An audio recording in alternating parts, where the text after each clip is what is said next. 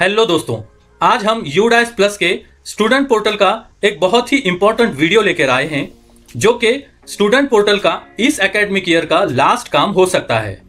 जो दो काम हमें कंप्लीट करने हैं, उसमें से सबसे पहला काम है कि ड्रॉप बॉक्स स्टेटस को अपडेट करना। क्योंकि जो स्टूडेंट्स आपके ड्रॉप बॉक्स में अभी शो हो रहे हैं, उनके स्टेटस को हमें अपडेट करना है। और दूसरा काम है, अपने स्कूल की इनरोलमेंट को सबमिट करना। जिसे स्कूल कंप्लीशन मॉड्यूल भी कहते हैं। तो अगर आपका यू डैश प्लस का स्टूडेंट पोर्टल का सारा काम कंप्लीट हो गया है तो लास्ट ये दो काम आपको करना है। तो इस काम को कैसे करना है, वो इस वीडियो में हम देखने वाले हैं। तो इसमें सबसे पहले हम देखते हैं कि ड्रॉप बॉक्स के स्टेटस को कैसे अपडेट करना है और उसके बाद कंप्लीशन मॉड्यूल को कैसे कंप्लीट करना है। तो चलिए ज़्यादा टाइम न लेते हुए वीडियो को शुरू करते हैं।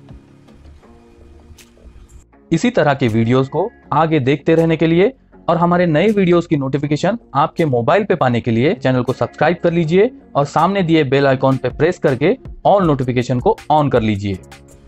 तो अब मैंने यहाँ पे एक स्कूल का लॉगिन कर लिया हुआ है। अब ड्रॉपबॉक्स के स्टेटस को अपडेट करने के लिए सबसे पहले हमें साइड में जो यहाँ पे टैब दिए हुए हैं, उसमें से list of all student dropbox एक है लिस्ट ऑफ़ ऑल स्टूडेंट और उसके नीचे है list of all student dropbox तो ये सेकेंड ऑप्शन को हमें क्लिक करना है। अब यहाँ पे जितने भी स्टूडेंट आपके ड्रॉप बॉक्स में हैं, वो यहाँ पे शो होंगे। और यहाँ पे जो आगे अपडेट ड्रॉप बॉक्स स्टेटस का जो कॉलम दिया हुआ है, यहाँ पे हमें उसका स्टेटस को अपडेट करना है।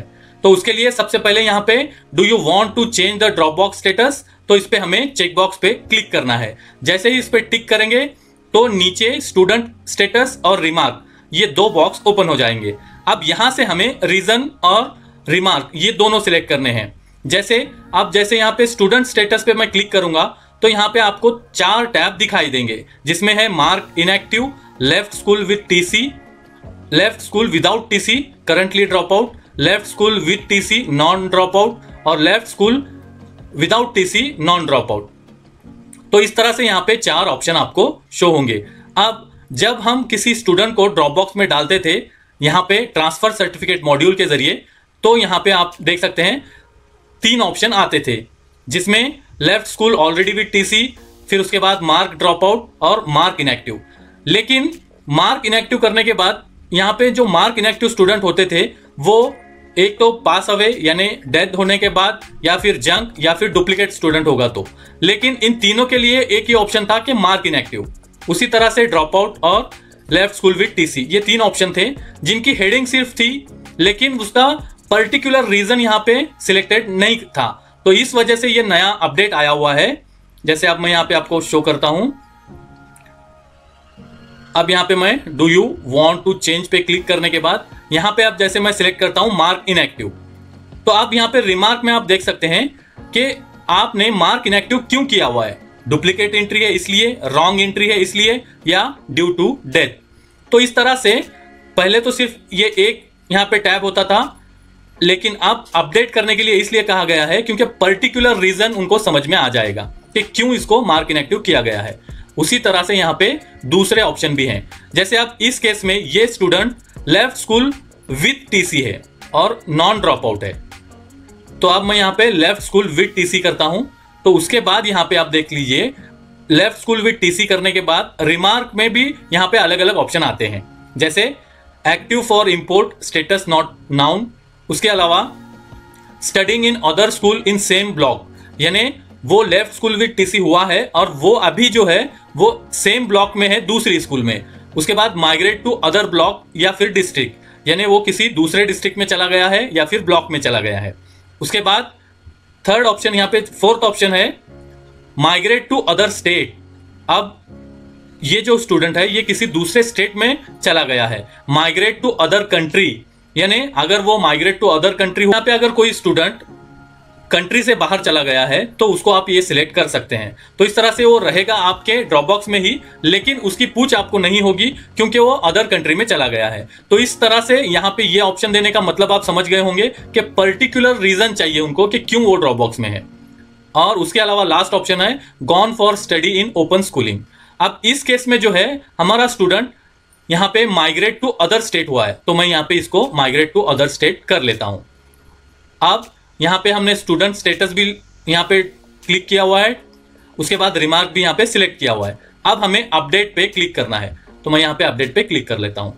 Student dropbox status has been updated successfully तो इस तरह से आपको वन बाय वन जितने भी स्टूडेंट्स हैं, उनको यहाँ पे उनका स्टेटस जो है ड्रॉपबॉक्स स्टेटस उसको अपडेट करना है।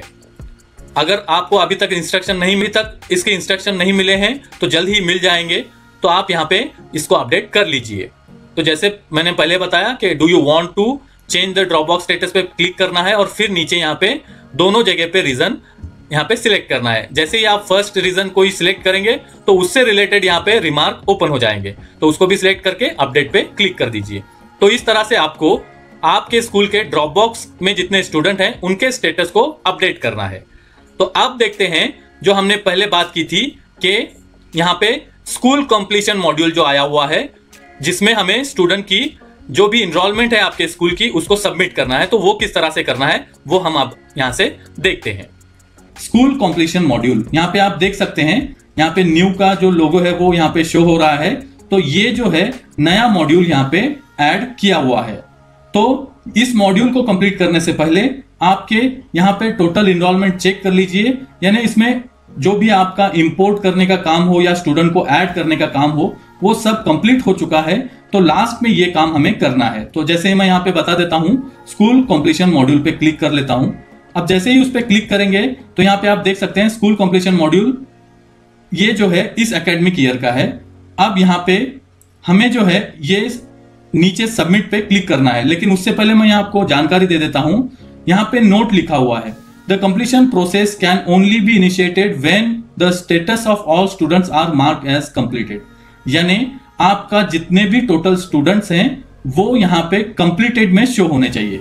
यानी जितने आपके स्कूल में स्टूडेंट हैं, उतने पूरे कंप्लीट में होना चाहिए। इन प्रोसेस में कुछ नहीं होना चाहिए और नॉट स्टार्टेड में भी कुछ नहीं होना चाहिए। जैसे आप यहाँ पे देख सकते हैं, इस स्कूल में टोटल स्टूडेंट 91 है और कंप्लीटेड जो है, वो भी 91 है।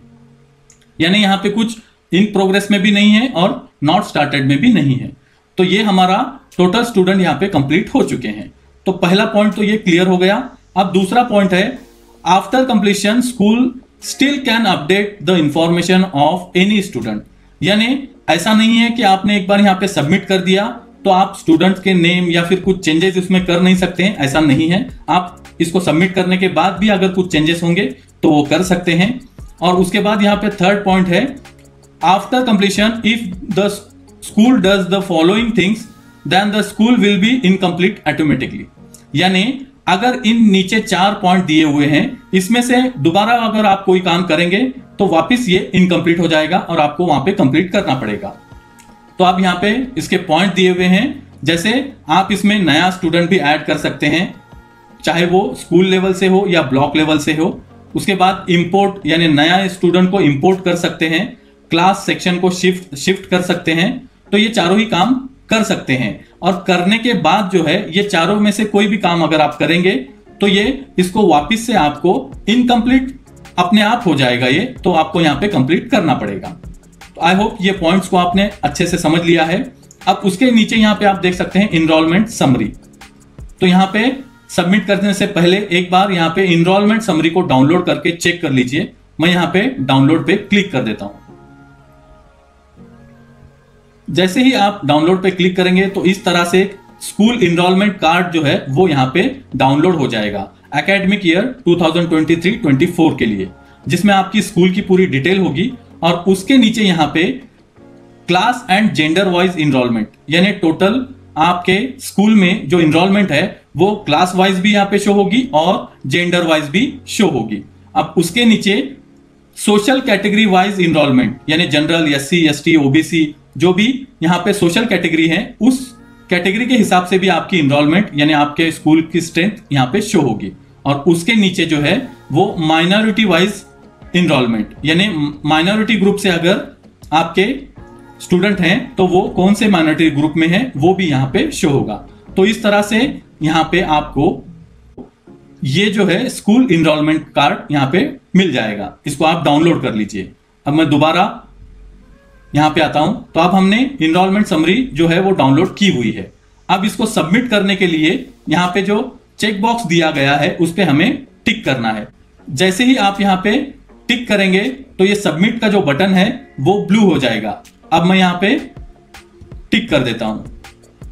अब ये जो है डिक्लेरेशन है यानी हमने जो है इसमें जितने स्टूडेंट को ऐड करना था, जो इंफॉर्मेशन डालनी थी, वो डाल चुके हैं आज की डेट में। अगर इसके आगे कुछ चेंजेस होते हैं तो आप इसको यहाँ पे दिया हुआ है नोट में कि आप वो चेंजेस कर सकते हैं। इससे इसमें कोई फ़र्क पड़ने वाला नहीं है। तो अब मैं यहाँ पे सबमिट पे क्लिक कर देता हूँ। सबमिट पे क्लिक करने के बाद are you sure you want to complete data तो इस पे हमें ओके पे क्लिक करना है। अब यहाँ पे, उससे पहले यहाँ पे देख सकते हैं data can be edited after completion यानी आप इसको कंप्लीट करने के बाद भी अगर डेटा में कुछ चेंजेस होते हैं तो उसको आप चेंज कर सकते हैं। तो मैं यहाँ पे ओके पे क्लिक कर देता हूँ।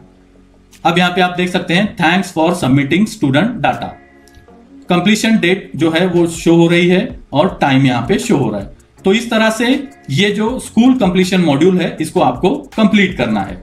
आई होप आप समझ गए होंगे कि इसको किस तरह से कंप्लीट करना है। सबसे पहले तो ड्रॉपबॉक्स स्टेटस को अपडेट करना है और उसके बाद यहाँ पे स्कूल कंप्लीशन मॉड्यूल में जाकर आपके इनरोलमेंट को यहाँ पे सबमिट करना है। तो आई होप ये वीडियो आपको अच्छा लगा। अगर अच्छा लगा तो लाइक करना और शेयर करना ना भूलें। और हमारे व्हाट्सएप चैनल को ज्वाइन करने के लिए डिस्क्रिप्शन बॉक्स में उसकी लिंक दी हुई है। वहाँ पे क्लिक करके आप हमारे व्हाट्सएप चैनल को ज्वाइन कर सकते हैं। और अगर ये वीडियो अच्छा लगा तो लाइक ज़रूर कीजिए और शेयर कीजिए। और आगे इसी तरह के वीडियोस को देखते रहने के लिए हमारे चैनल को सब्सक्राइब कर लीजिए और सामने दिए बेल आइकॉन पर प्रेस करके ऑल नोटिफिकेशन को ऑन कर लीजिए। Thank you for watching